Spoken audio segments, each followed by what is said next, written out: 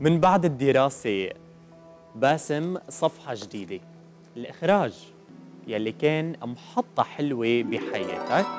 أول تجربة إخراجية لك كانت بالجامعة عام 1998 لما أخرجت فيلم سامحني حبيبي. وقتها حاز هالفيلم على جائزة أفضل فيلم جامعي. ومن بعدها أخرجت عدة أعمال. ليه بعيد عن الإخراج اليوم؟ آه، أول شيء الفيلم سامحني حبيبي اللي أنا عملته حتى اسمه هو كليشيه. يعني هو الفيلم أنا عم بتمسخر على كيف نحن بنعمل أفلام لبنانية وشو بصير فيها أخطاء. فحتى اسمه سامح سامحني حبيبي اسم كليشيه أنا كنت قاصد إنه أحطه.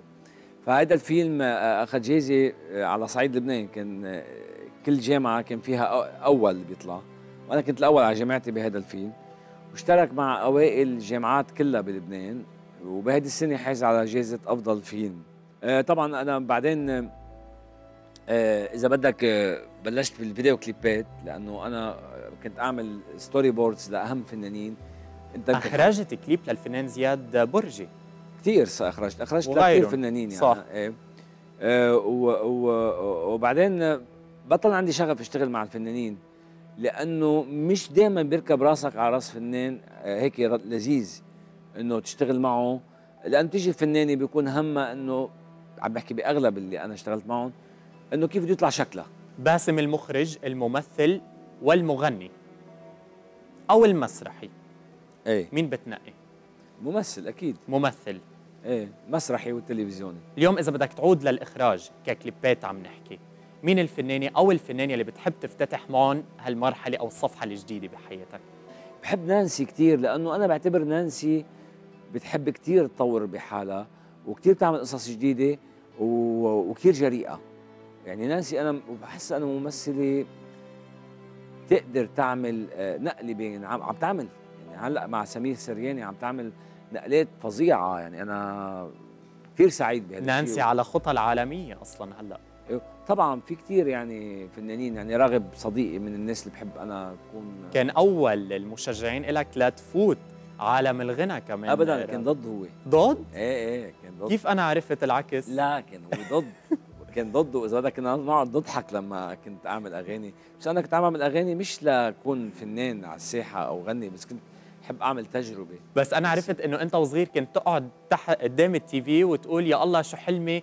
آه، شوفوا لراغب لايف أو قابله صحيح إيه أنا أنا كنت كنت كثير حبه لراغب حتى مرة شفته أنا كنت بمستشفى الجامعة الأمريكية وكنت ب عم كانوا أهلي عم بيزوروا حدا وكنت أنا صغير فممنوع نطلع نحن على ال... كنت ناطر تحت بالريسبشن. فكان هو جاي الله يرحمه أستاذ سيمون أسمر كان عنده عملية قلب وكان بداياته راغب. آه، كان جاي يزوره. فأنا لما شفته ما صدقت. مثل لما شفت أحمد الزين أستاذ أحمد الزين قعدت أربع أيام أحلم فيه أستاذ أحمد الزين. شفته بفيلم اسمه الإنفجار.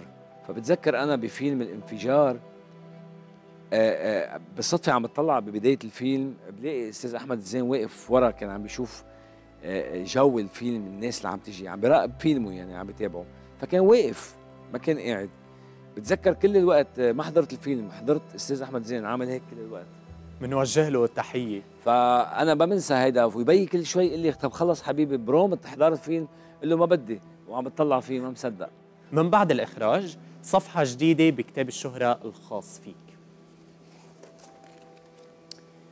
1995 مسلسل العاصفة تهب مرتين. هالعمل يلي لليوم بس نقول باسم أغنية يعني بنقول مسلسل العاصفة تهب مرتين قد إيه حاز على نسبة مشاهدة عالية بتاريخ الدراما. بوقتها كان بعده مثل ما بيقولوا عظمك طري آه، باسم. كنت بعدك طالب بالجامعة. كم كفة لقيت وقتها؟ كان بداية حلوة. جيت على التلفزيون عملت casting الله يطول بعمره أستاذ ميلاد الهاشم قبل ما يروح على الغداء كانوا عم بيعملوا break وأنا كنت ناطر. فقال لي يلا حبيبي وقف على الكاميرا. إيه، قول شي جملة عمل كذا كذا. قال لي يلا حبيبي نحكيك بعدين. ورحت وثاني يوم حكيوني. وبعت وراي على دور. كان أول مشهد بصوره بحياتي مع النجمه رولا حمادي إذا بحال صار الجزء الثاني من مسلسل العاصفه تهب مرتين معقول نشوفك فيه؟ العاصفة تهب مرتين هو مجموعة ممثلين كثير حبيناهم وعلى رأسهم رولا حميدي وفادي إبراهيم. ما بقدر أشوف عاصفتهم مرتين غير رولا حميدي وفادي إبراهيم. وإنت؟ إذا هني بيكونوا موجودين فيه أكيد بكون أنا لي الشرف إني أكون معهم. برأيك من أبطال هالعمل؟ مين بتقول انظلمت نجوميته اليوم بهالعصر؟ كان بيستحق يكون نجم أكثر وانظلم. في ناس ظلمت حالها؟ مثل؟ بحس فادي إبراهيم ظلم حاله. ليه؟ لأنه أنا فادي إبراهيم بشوفه نجم عالمي مش بس نجم لبناني. عالمي انتبه. ظلم حاله حياته الشخصية أنا ما بعرفها. بس آه، آه، بحسه ما كان مرتاح بقصص صارت بحياته. خلته يروح على محل لأنه فادي إبراهيم ظاهرة آه، بعتقد بالنجومية ما انوجدت مثلها على صعيد لبنان.